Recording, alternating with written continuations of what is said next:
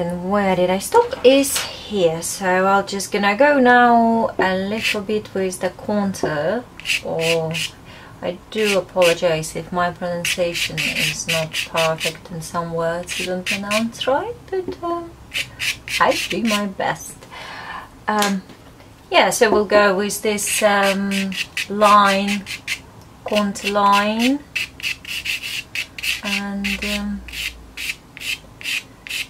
trying again to create where the way the hair going. If you look at the picture, you see um, the direction. That's what we're doing with you. So, and then again, um, talking about talking about the how do we measure. Um, so I think this is kind of that, that the duck duck. I, t I move myself a bit further away from the painting when I do this and then I just um, look at the reference, look at the picture and um, by measuring the distance in between certain points, just the eyesight really, I am trying to work this out. So because if we're looking at the nose of this meerkat underneath a bit to the right we've got this one so I've done a bit wrong but we can move it a bit to the right and then is that's the chest that's going towards here and that will be just in here so we can just give it a bit of a smudge don't worry about this that's that's like you know the beauty of pastel. We've done this just don't go too harsh. You took the smudge uh, this um, tool, blending tool, and smudge it nicely so it just will give you underlayer of the dark. So, and then we will go on the top of this one. So, and this one as well, this one going towards here. Um, now we can take the lighter color and just uh, go this way. Um, just like this. And um, like this. Uh, right so the darker so again if I'll have a look so this line the darker line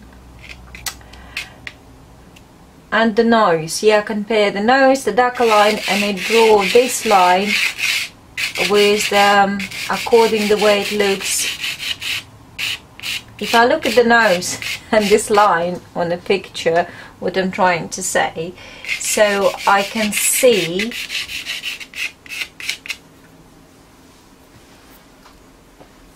where this line in compared to his nose and that's how I draw it.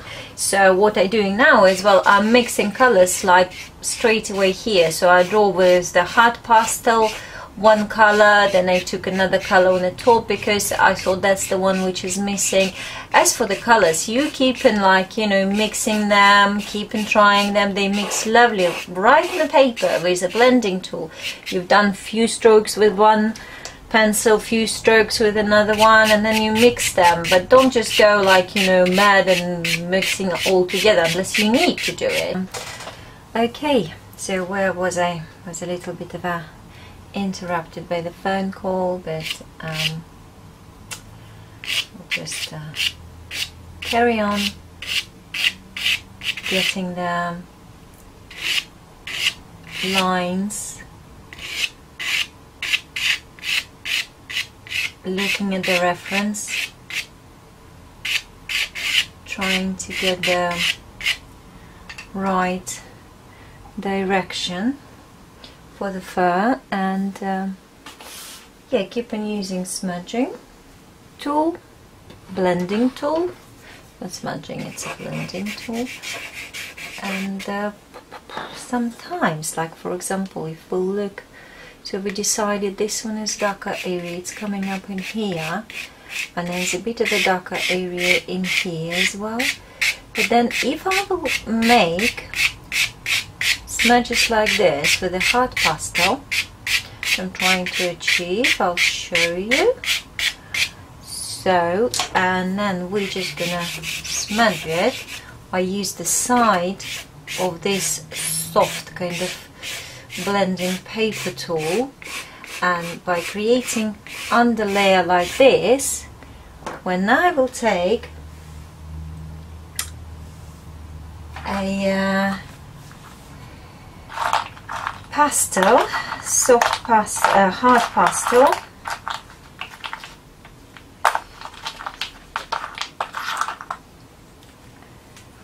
And go on the top of this it straight away will create a depth that the lighter one here they are on the top.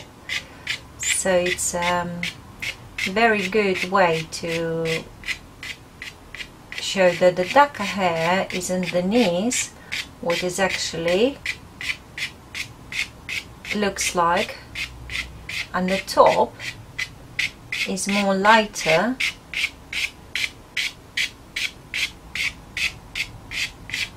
when you created the dark areas just because this um, paper takes such a nicely so nicely all the layers of the colors.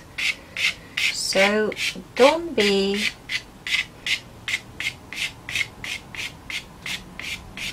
as I said don't be afraid to use lots of colors but they all kind of has to be the right tone but um, so for example I see on this one as well I see a light blue color as well so I can go with light blue the one the sunny side. And if I will put some darker one in here as well with the soft pastel. You remember in the beginning I said to you if you don't have a if you don't have a uh, pan pastel you can use the pastel stick uh, hard pastel, soft pastel um, anything like kind of a drier ones because some of the soft pastels has got almost like a you know thicker texture oilier so I'd suggest to use the drier one so we're going on the top and here. We've done a darker and then just go on the top at the moment it's still far away from the finished. So what I am doing here is just trying to create the look which will you know make me happy. And I think yeah they're alright so that that looks like I want it to look approximately. And when I've done this one I can uh, start working towards more detailed look. So here I'm using the black again to give it a bit more depth. And then again I'm taking this brown and I think I could do some more color in here. Right. And then if we'll have a look at his so here for example we're gonna do his paw and um, if I compare this bit on a photo to his paw where it's bent that's how I work. So I kind of create this triangle you see? And then I'm trying to make sure mine looks like triangle as well. So again once again to to make sure that it looks natural and in the right position. Don't just look at the paw for example when you draw it. Always look on the other you know area which is you can compare the paw the position of the paw with. So don't just um, uh, yeah don't just look at the at the one detail. Always compare. It so here again um, what I'm going to show you now is I'm going to use another tool. And that tool is uh, another blending tool with like with the sponges. You can put the clean sponges and whatever. So so it's it's kind of similar to this similar to this. Uh, but it's different. It's got um, bigger handle and I'm trying to change the sponge on it. So I've got the clean and I'll show you what does do. So we can do the bigger area straight away. But be prepared with this tool. It does take color away. Some of the color so sometimes if you want to keep a bit more color just press it in with your fingers first. But be careful with the um, Fisher 400 don't hurt your fingers. My problems was were when I was using most of the time Fisher 400 it was with my phone to be honest because um, it would always kill my um, fingerprints. My phone never recognized me. And now my new phone is um, good because the fingerprints it's doing from the left hand at the back of the phone not the right one. Right so now again we're drawing this part. So what we're doing I'm looking at this part of his tummy and comparing it for example towards this line and uh, towards his eye even. So it's it's kind of kind of here I think uh, my but I didn't position him perfectly it's my honest answer but at least at least a little bit. So in this tutorial we're not like trying to create a perfect portrait and perfect um, kind of uh, likeness because it's just a meerkat. It's it's um, not a portrait but we want to make it look natural. We don't want to make it uh, look funny. So now I'm gonna you know it's typically I, I work with different parts. So now I'm gonna jump to the ears because I really want him to to have like you know his head finished and ears. So I definitely can see that um, with his head uh, we need to get wider. So I am just going to oh alright so um, just gently go a bit more here. Keep on looking at the reference. I put on a description below the reference for this picture so you can just download it on a computer.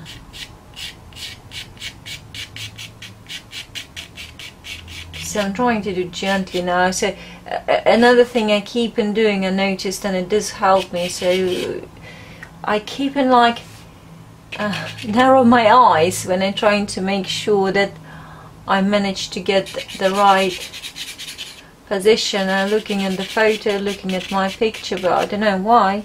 But it seems like when I narrow my eyes and look through the narrow kind of look, it's a bit blur the view, not as sharp, and I could see better if I manage to get it right. But the more you draw, the easier it will be for you to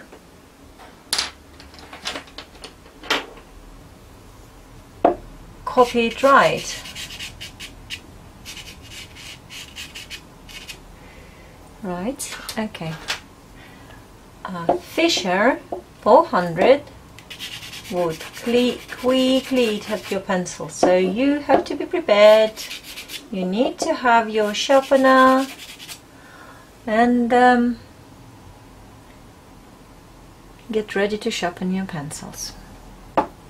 So what I'm using is uh, this for pencils but if you're too young to use it I'd suggest you use some sharpeners like this um, or ask maybe somebody adult to do your pencils with um, with this. So what I'm gonna do here, so I've done a bit of a outline for the ears.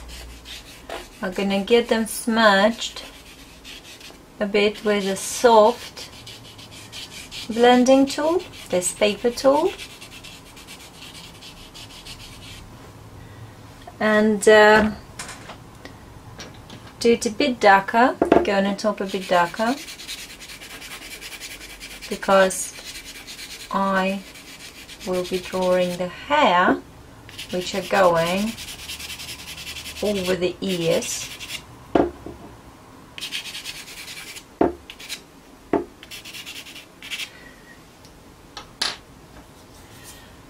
I'm not gonna use the blending tool here because I want to keep it a bit you know in a darker look. And his lovely little hair they are going like this. So we, that's why we had to create this dark first. And when we're going on, on the top of dark it's gonna be like this right? Um yep. Kind of. I think. How are you doing? I hope you are managing to do a good job. And your meerkat looks good. Of what I was going to do is just to go again with the blending tool smudge the areas which are a bit rough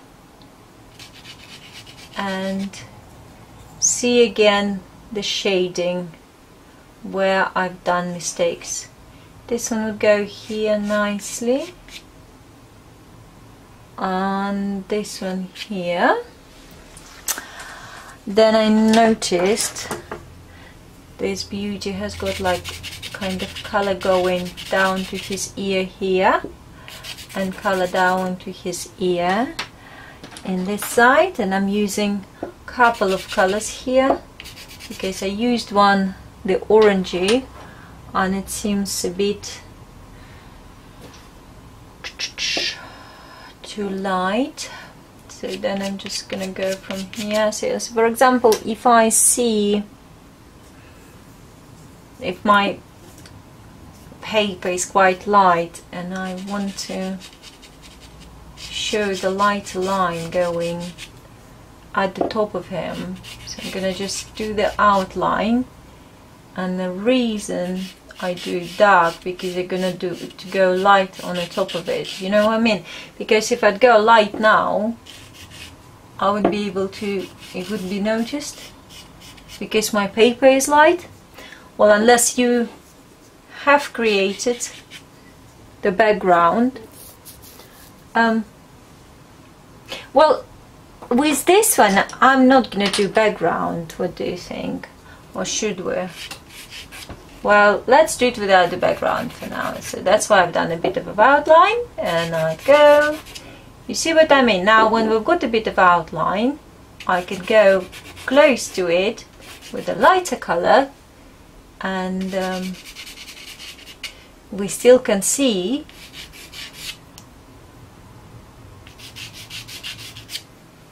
the card clearly.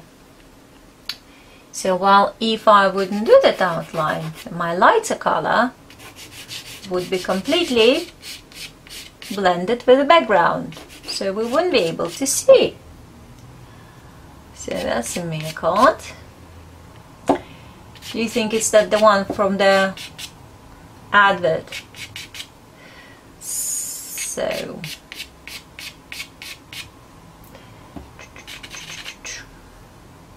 little, little, little, little, little. Well, see how you feel. I'm going to be working on it and maybe posting a couple of videos um, a day. I've got the commissions to do and um, some other work but it's up to you how much time do you want to spend doing this.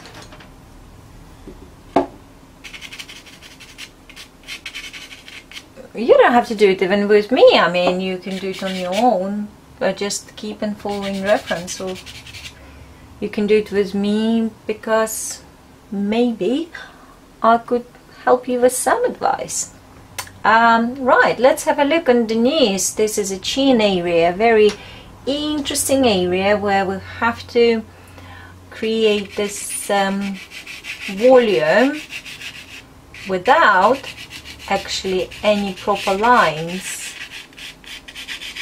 This is where again this narrow eye look. I don't know how to, to say it but when you kind of you know narrow your eyes and it's easier to see the light and the dark where the light where the dark is going. And again I'm gonna what I'm gonna do now here uh, first of all I'm gonna smudge the sides.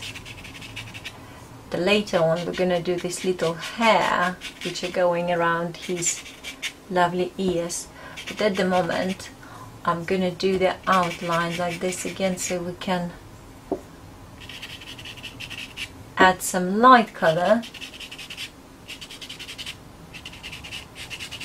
to it and we still can see it.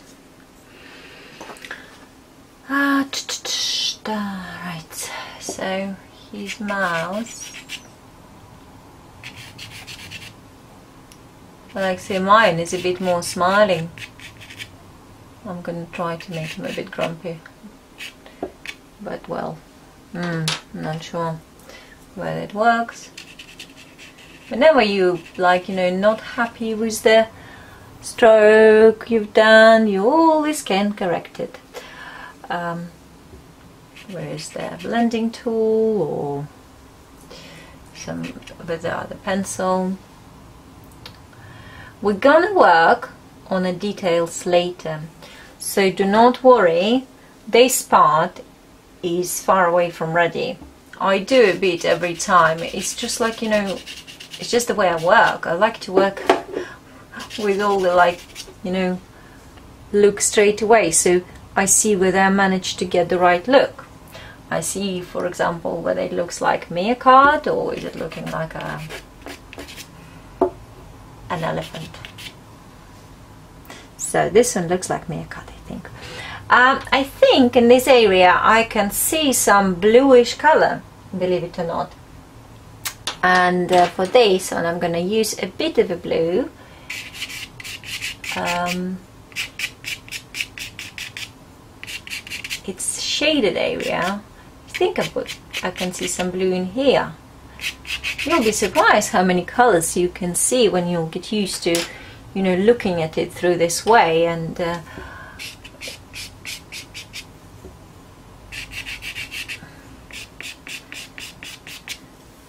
that's it that's it right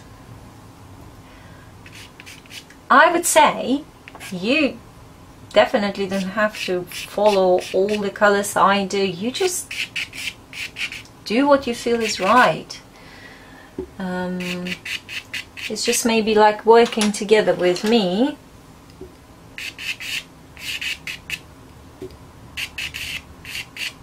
will help you a bit with some kind of advices. But hmm, maybe not. Alright, I think I just sometimes saying something just because I'm saying something. Okay, so what I'm gonna do now is I'm thinking if I will, I will put those. First I'm gonna put the hair, even though on the picture those hairs are quite light, you can see it I will do it this way because again what's happening on our light picture is if I'm gonna, gonna go with the light color but we'll not um, this hair you don't have to be precise. Oh no no. You just um, just have a feel like you know just look at the picture see a little bit of you know the direction they go but they don't have to be exactly like on this meerkat. I mean that's not our intention. We're just enjoying. We're just drawing the lovely cutie sweetie hairy neopard anyway uh, so when I've done the darker one what I'm gonna do now I'm just gonna go with this one to smudge it. I don't want them to have this um, feel of um, um, a rough rough look. Especially because you will see now I'm going to go on the top with the light color. And for this reason I wanted to take another little hard pastel and just go you see what I mean? I'm just gonna go on the top and in spite of making them dark initially that will look like they're light. And if you see this light one they are mostly on the outline of the meerkat. For example here. It's going like this. Can you see this line? The light line and then there's a bit more light here. And I believe there's a nice blue color on this side as well so which I'm gonna add in a minute. And somewhere here.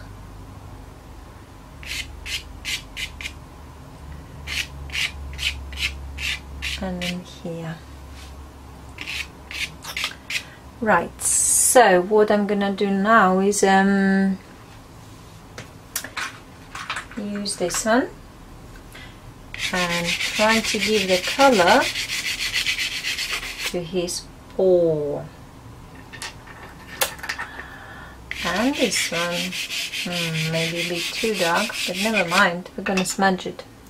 So I'm gonna use this tool now because it's quite you see the lovely booms? And you smudged it and here I'm gonna rub this one in first. You remember what I said? If you want a color to be a bit stay a bit more obvious just um, rub this in first with your fingers. Uh, be prepared to lose your fingerprints. That's what I always have with this paper anyway um, so in here I'm gonna add a bit more color because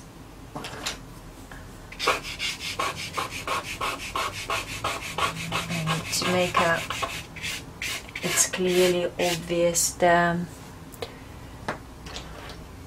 line. So this line so again we're going we need this triangle and that's the line. I'm gonna do it like this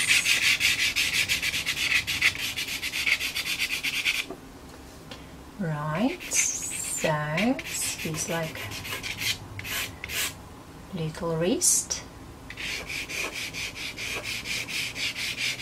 and uh,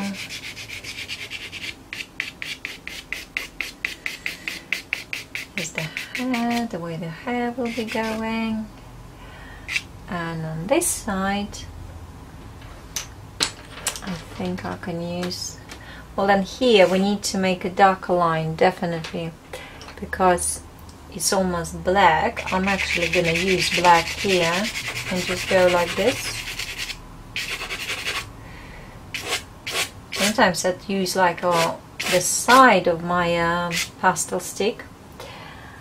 And then because I want this color to stay in a bit better on the paper before I'm to use the blending tool I put it a bit with my fingers. Make sure that it's gone in a bit more because if I would start using smudging straight away after the pastel stick it would take off quite a lot of it. So and we can do straight away the brownish color which is uh, we have to create here transition. I mean um, it doesn't matter what really I'm using I'm using something what is handy if it is if it is the right color but it's all the same whether pencils whether hard pastel sticks I'm just um, need to get a bit um, more color in here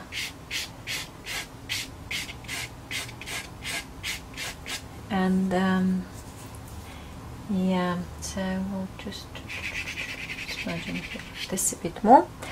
And now what I want to do is to complete his arm in here.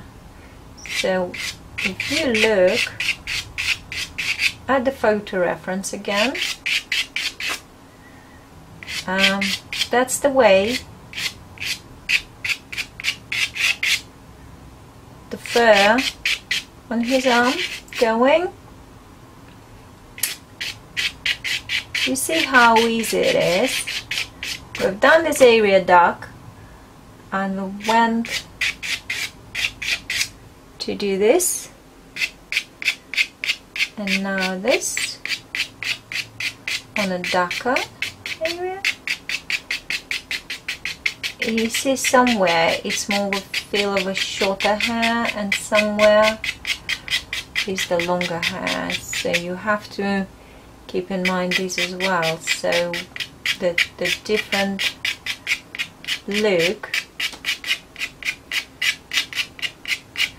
you're creating with the different lengths of the stroke um, I'm just looking for another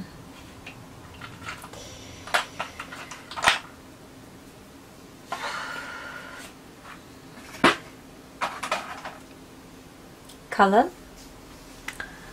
I almost feel like this is a little bit of orange here so that's why I decided to add a little bit of a orangey color and then we need some dark brown. Well the only dark brown which is handy is a pencil. That's why I'm using pencil